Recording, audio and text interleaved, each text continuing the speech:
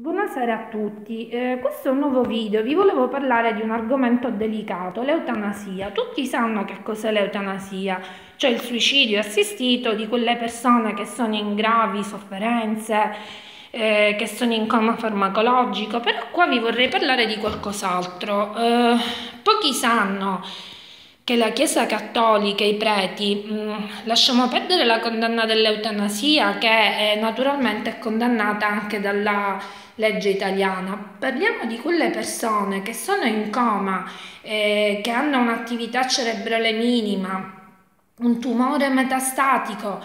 La Chiesa Cattolica favorisce l'accanimento terapeutico, quindi i preti, eh, le suore e chi altro si divertono a vedere soffrire queste persone che non hanno più alcuna speranza di ripresa, di una parvenza di vita normale. Eh, non, quindi diciamo lasciamo perdere, come ho detto, l'eutanasia perché solo Dio ha diritto di togliere la vita, ma anche i medici spesso sono contro l'accanimento terapeutico in quei casi senza speranza. La Chiesa cattolica invece lo favorisce. In questo sembra di cogliere quella crudeltà che avevano gli inquisitori nei secoli passati. Un prete eh, non sosterrà mai di smettere l'accanimento terapeutico, quindi malati terminali, malati che soffrono, devono per forza restare in vita per fare contenti i preti che si divertono a vedere le sofferenze altrui. Vi sono stati numerosi casi eh, e nessun prete si è mai pronunciato contro l'accanimento terapeutico. Questo vi, vi, fa vedere che cosa sia la Chiesa cattolica.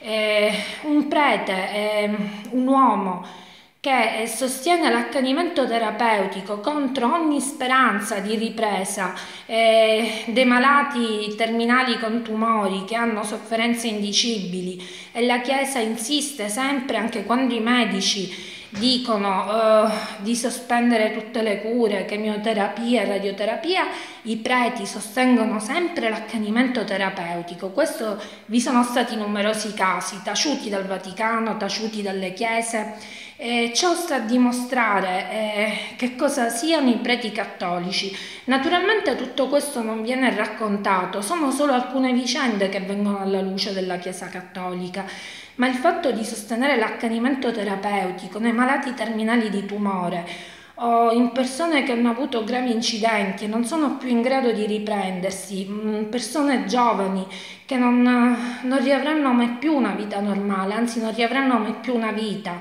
e i preti, le monache, eh, se un medico dice lasciamo perdere, sospendiamo le cure perché significherebbe farlo soffrire solo di più. I medici, I medici dicono questo, un prete continuerà sempre a insistere con l'accanimento terapeutico e solo all'ultimo darà l'estrema unzione. Quindi eh, che cosa sono questi preti, queste monache, sadici? È Dio che vuole questo? È la loro crudeltà.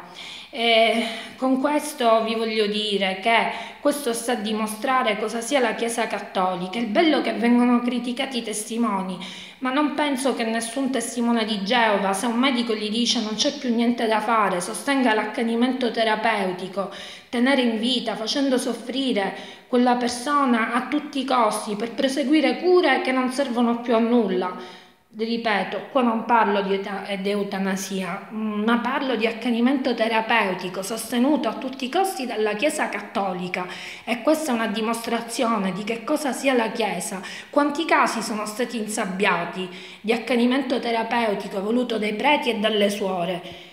Eh, questo vi fa vedere che cosa sia la Chiesa cattolica, quale organizzazione sadica, criminale e corrotta. Eh, con questo vi saluto, io non sono una suora non lo vorrei mai essere, con questo è tutto, vi saluto.